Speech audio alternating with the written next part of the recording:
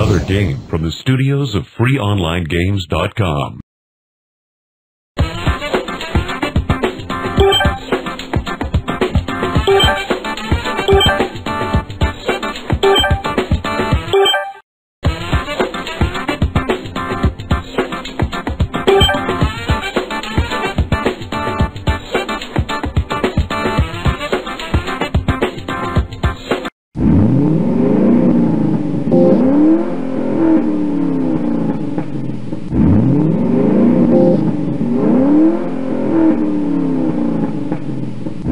Thank you.